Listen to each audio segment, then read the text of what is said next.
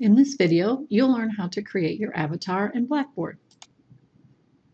Avatars are small pictures that appear next to your name in the post to a discussion board.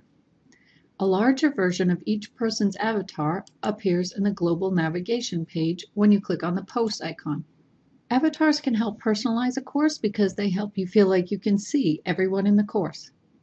To add a picture for your avatar, go to the global navigation pane and choose Settings. Then choose Personal Information. And finally, choose Personalize My Settings. Make sure the button next to Use Custom Avatar Image is selected, and then choose Browse My Computer to look for your photo. When you find the photo that you like, click Open, and then choose Submit. And you'll see your avatar appears at the top of the page in your global navigation pane. The best type of photo to use for your avatar is a headshot that's shaped as a square. Otherwise, the photo will be distorted when you bring it into Blackboard.